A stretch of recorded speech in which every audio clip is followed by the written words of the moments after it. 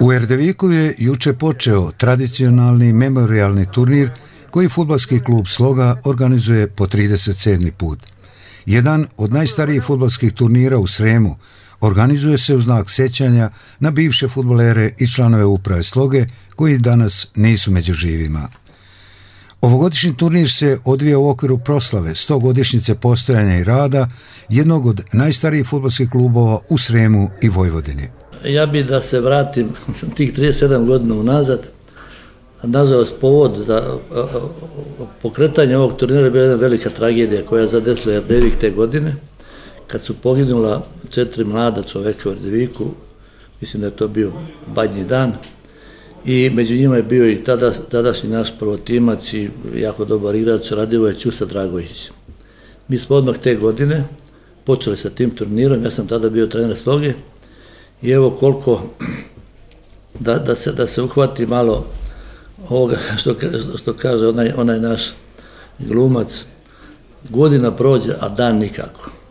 Kad se setim da je 37 godina prošlo, stvarno je tako brzo to proletelo. Uglavnom, mislim da smo od tog prvog turnira pa do ovog danas koji je i u sklopu 100 godina kluba zaista prevazišli naše očekivanja. Taj turnir ima jedan jako velik ugled, ne samo na našim prostorima, mislim da za njega malo ko u futbalskoj Srbiji ne zna.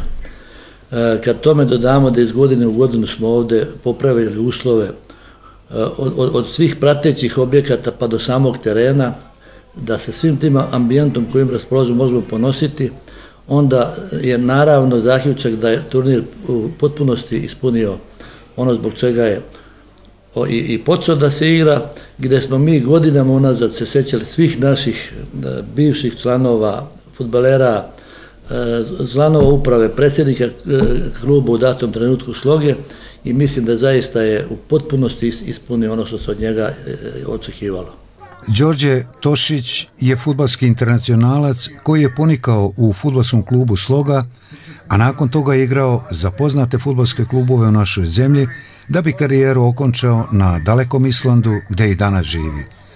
Tomu nije smetalo da u posljednje vreme prisustuje ovom turniru, čiji je ujedno i sponsor. Sećanja na dane i vreme provedeno u klubu iz Erdevika i danas bude uspomene kod jednog od najboljih igrača sloge u njenoj stogodišnjoj istoriji. Svi smo bili tu generacija, svi smo bili erdevičani i to moram da naglasim, a koliko to ovaj, nije, nije, ali smo bili svi erdevičani i svi smo uh, na neki način želeli i hteli da taj erdevik dignemo na jedan viši nivo, da, da, da pokažemo i sve lepote erdevika i sve lepote ovaj, te generacije i, i uspeha koje, koje čini jedno, za jedno selo, koje je Erdevik je bio u to vreme u to vreme stecište i mladosti i svega što je krasilo. Ovaj. Verovatno svi ljudi koji, koji, koje put navede ili odvede odavde, negdje se ili u sećanju ili, ili nose lepe uspomene.